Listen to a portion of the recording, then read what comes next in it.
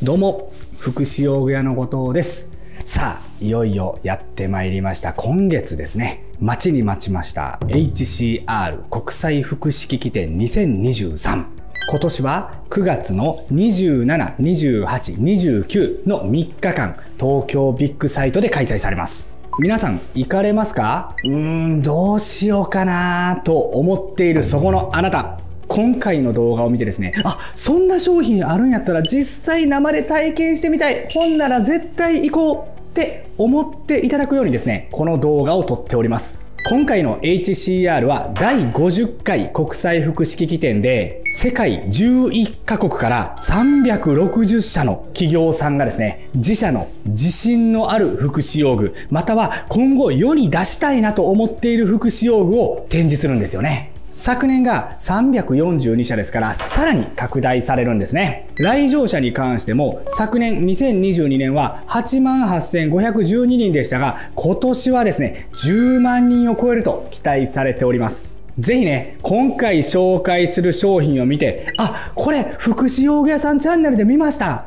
YouTube で後藤さんが紹介してました。福祉用具屋さんチャンネルで取り上げられてた商品教えてください。って聞いてみてください。今回はですね、事前に後藤が入手した情報が、ちょっとかなりね、膨大になってしまったので、個人的にね、見てみたい商品をピックアップしてみたいと思います。しかもね、一つの動画ではね、ピックアップしきれなかったので、なんと2週にわたってお送りしたいと思います。ぜひ、来週の動画も見逃さないように、チャンネル登録とね、アラームセットしておいていただけると非常に嬉しく思います。あんまりね、この商品紹介までのね、こう尺が長すぎると、前奏が長いお前ビーズのラブファントムかって突っ込まれそうなので、そろそろ行きたいと思います。それでは行ってみましょう。それでは最初にご紹介する商品ですが、パナソニックさんの暮らしサポート歩行者スムーディー、買い物用買うサポです。いや、これね、すごいですよね。ついにね、パナソニックさんが歩行器、歩行者までね、手掛けたんですよ。しかもね、普通の歩行器ではないんですよね。まあ、見た目は普通の、ちょっとこうスムーディーカラーのおしゃれな歩行者かなって思うと思うんですけど、このね、座面の部分をこう引くと、スリングシートのね、この部分がこう、こう水平になって、買い物かごを置けるようになるんですよ。この動きね、写真じゃ分かりづらいんですよね。こう座る部分をこうしてこうですみたいな。わかります？しかもね、持ち手の高さも900ミリまで上がる設計になっています。男女問わずね、こう使いやすいジェンダーレスのね、設計になってるので、このさっきのこのパターンってこう倒す部分とか、このスリングシート出す部分、これはもう現場で体験してください。続きまして、同じくパナソニックさんの暮らしサポート歩行者スムーディー、室内用家事サポーです。これはね、室内用の歩行器なんですけど、いやまあこうシンプルでいいですよね。皆さんが目にしたことのあるお盆のついてる歩行器です。たまにね、お盆だけどっか行っちゃうってありませんか？ただこれしっかりと固定できてお盆だけがどっか行っちゃうっていう恐れも少ないですし、もちろんね、取り外すこともできるんです。これまたね、スムーディーカラーですごいお家に馴染みますよね。下のね、カゴに秘密があるらしいです。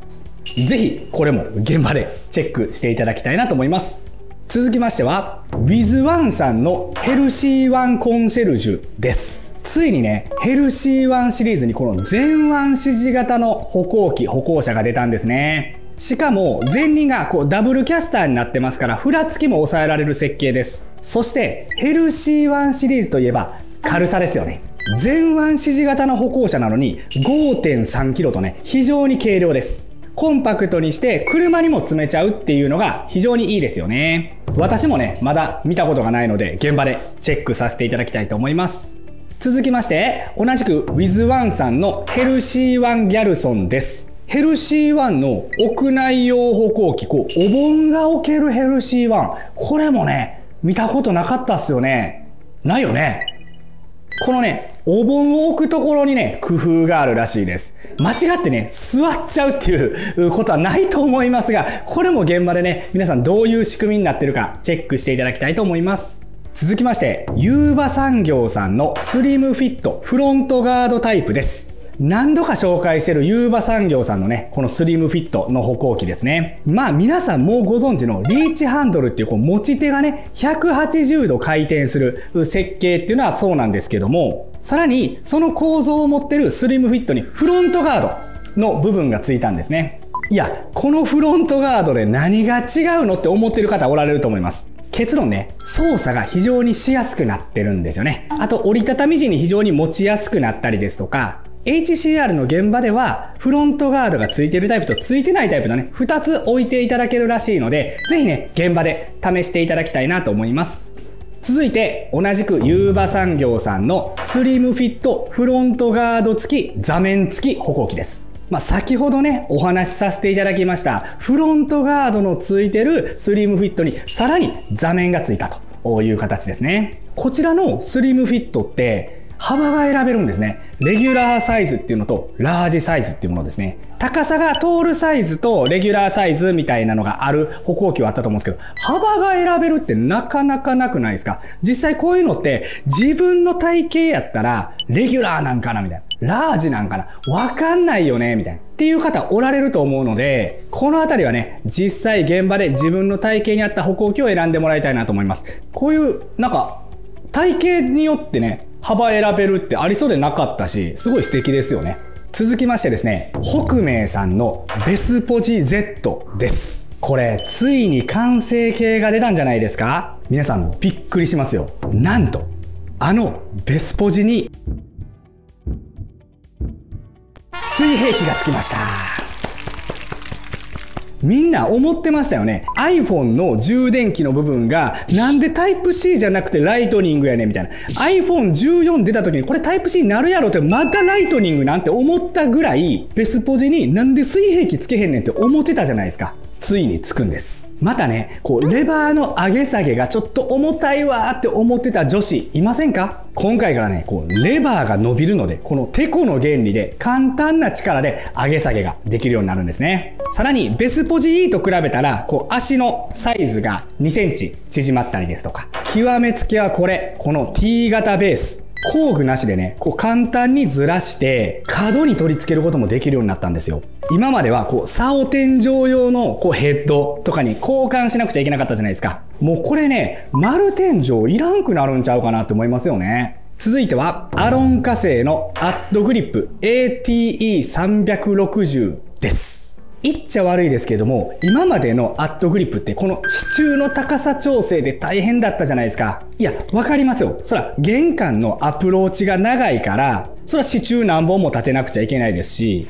連結の具合とかも、まあもちろんわかるんですよ。ただね、中には、もう手すりちょびっとでいいねみたいな。ここの一段だけ手すりありゃいいねみたいな。そういう利用者も少なくないはず。大掛かりな支柱何本もいらんねんという利用者の声をそのまま反映しまして、ついにできました。ババン支柱1本タイプです。これって玄関のアプローチも当然ですけども、持ち手の角度も変えられるので、玄関の中、勝手口、吐き出し窓などいろんなところで汎用性高く使えると思うんですよね。ぜひね、チェックしてみてください。続きましては、アロン火星さんから落蔵くん FX30 自動計測タイプです。これ世界初じゃないですか。今までこんなんありました？ポータブルトイレで自動計測ができるんですって。え、な、な、何をですかって？このポータブルトイレで計測できるのは、着座時刻、着座時間、排泄量